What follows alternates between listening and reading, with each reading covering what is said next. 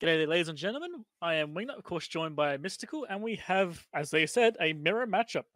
Triple Barg, Stormbringer, Stork, Hyena, double Caracal, double Scalpel. And uh that's going to be very, very interesting. Uh, Mystical, you mic. Hey, that's fine. Um, yeah, I find it quite interesting that they've gone for the mirror here, but at least they're both bringing the hyena. Um, I think critical to the Barghest success in many of these matches. So we'll just have to see what they decide to go for first. I think they should go for the smaller ships. You know, they should clear out the hyena on the opposing team, maybe some of those scalpels as well, and then work their way through. But uh, I think my bet's on Caracals here for sure. Caracals is one of the weakest things here. All right. Well, I can see that the red team's burning in while the blue team is actually moving away. So, one of the things about missiles that I don't think we've mentioned so far is that when you're burning away and the opposing target's burning in, it kind of extends the range a little bit. And if you're burning after a target while shooting, um, it shortens the range of your missiles. So, that's something to keep in mind considering they're both missile teams. Yes, and speaking of the missiles as well, both teams have fitted rapid heavy. So, as far as I can see, in almost every way, these are pretty much mirror matches. I can't see any differences. See a Stormbringer firing its gun, though. That's new. Yeah, it seems like they're leading with the Stormbringer at this moment in time, but the Hyena of Rima is burning up a little bit. I think the Hyena does need to go first to try and pin down one of the targets that they need to shoot, but the problem with that is the Hyena on the Dockworkers team is going to be able to web and TP him back, so it would very much be a trade at that point in time. But it seems like they're just say, on a beacon. I say I am loving watching this Stormbringer trying to shoot doing utterly nothing. Really perfect. And that Caracal, I, I'm glad I called that. Caracal dead. Yeah, so I think the Caracal stopped on the beacon. I'm not sure if he activated it, which would have bloomed his SIG. Um, but I think the major issue that we're seeing from the dockworker side is that they stopped. Um, that's something that you don't want to do against Barghests. Um, stopping your ship is the worst thing that you can do actually against missile ships in general. So I'm not quite sure what Dockworkers was going for there. And in the end, they didn't activate the beacon anyway. So it seems like they and regrouped. back in. Yeah, and then they're just burning in again. So I'll be interested to see what they decide to do. They may have some smart bombs on their Barghests to try and clear rep drones, but I don't see that at the moment. So they burned back, like they turned around and burned straight back in. The hyena went the furthest back in of all and just got deleted for his effort. That was that was not the right call there at all. We've had got two kite setups that are just essentially charging each other for a short time there. Yeah, I think that dockworkers are trying to break through the Barghest of David. That's where most of their attention is going, but they're losing the Scalpel, which we just saw. They've lost the Hyena, they've lost two Caracals. So their support wing is falling apart in exchange for potentially one Barghest kill, um, which isn't necessarily too bad, but they won't be able to rep once this thing, when, when this next Scalpel goes down. So they are on the back foot now. And they'll have trouble applying too, because they've lost their, their application hyena, they've lost their ships that can apply to things. Once this Barghest dies, they could pick another Barghest, sure, but after that, they've still got to kill the Caracals and the Scalpel at some point, or at least try and pressure them. They've got no real way to do it anymore. Yeah, I think the scalp, uh, the Caracals should be fairly easy to kill for the Barghests, even without the webs and the TPs. Um, obviously, it will take longer than it should, but yeah, I mean, it, it's a bad trade, I think, to trade your entire support wing and logistics for a Barghest, and that hasn't even happened because they've probably gone on reload as uh, Exactly, rapid heavy yeah. ships. Yep, they're de- almost definitely on reload, so the Scalpel's going to try and boost them up as much as they can. Just uh, basically waiting for them to come off reload now on both sides, right? It's kind of like downtime between the two of them. All right, half time, boys. Take a take a moment. And there comes the missiles, I think, again.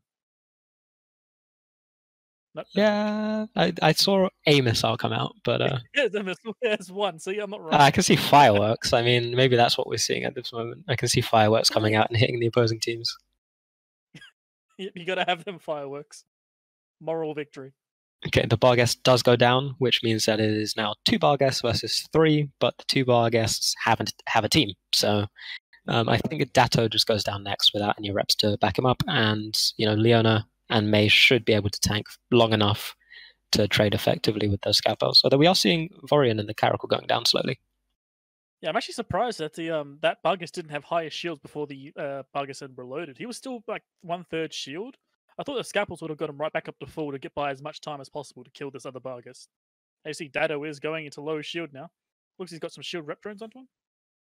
Yeah, he's got some small bots, but the Stormbringer, I think, and the Stormbringer on the other side are basically clearing those bots by shooting their respective targets. Which is one of the issues, I guess, with having Stormbringer on your own team, is that it will still bounce to drones. So Yeah. Datto's Is slowly actually- going down. There's been an utter lack of drones throughout this fight. I think the Stormbringers just meant that everyone who put drones out immediately lost them. I see like a single Hornet EC over there and, and a couple of uh, acolytes. That's really about it. We've seen some drones, yeah, but like you said, the Stormbringer bouncing onto the drones. I think some of the Barghests perhaps having smart bombs as well, meaning that most drones aren't going to last long. Although there are two acolytes out on May in the Barghest, yeah. I think his own. So, uh, yeah, not put them on a target yet, which is interesting. And someday he'll figure out how to click F for his two light drones. so one of the things, good. yeah, one of the things we haven't mentioned yet, I think, is just the Scalpel rep range, right? I think the issue with the logistics frigates in a kiting comp is that they have to be on top of the target they're repping.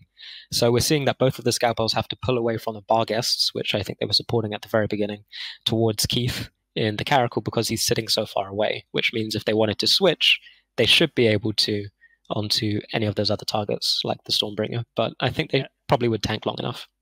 And it's a delicate dance as well. You've got a set amount you can actually really rep. You've got to keep your other rep buddy alive and close to you. You've got to keep your speed up to avoid missiles, drones, and guns. It's a delicate dance to try and fly those logi frigs correctly. And there's a lot of people who just can't quite get it right. Yeah, yeah, it's definitely one of the harder roles I think in the tournament, especially if the enemy team has its sights set on you know killing you. Um, but that doesn't seem to be the case for dock workers at the, at this moment in time. They just stop shooting. I think they've killed the Caracal there. Um, so just taking their time to perhaps reload their missile systems, um, and then I guess shoot the Stormbringer maybe. Yeah, let's try and figure which are they going for. They might be going for the Stormbringer. Honestly, what do you really go for in their situation now? Do you try and take a bark? Do you try and remove the scalpels? Do you go for the Stormbringer? I think they're just going for as many points on the board as they can because I don't see them winning uh, 2v1 with Barghest, even if the scalpels and the hyenas didn't exist. So um, I think it is very much just a case of they've, got, they, they might as well do something while they wait, right?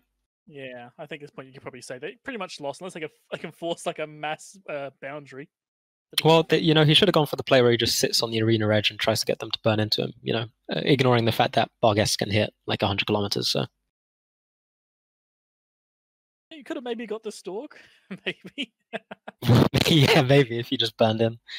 Um, we're seeing some pretty, pretty firework effects on stream at, the, at this moment in time. Um, as yeah, as the Barghest does take the brunt of the damage from the Barghests of the opposing team. Um, just waiting for the reloads at, at this moment in time, I think. Yeah, I think this Barghest should die on this reload. Should.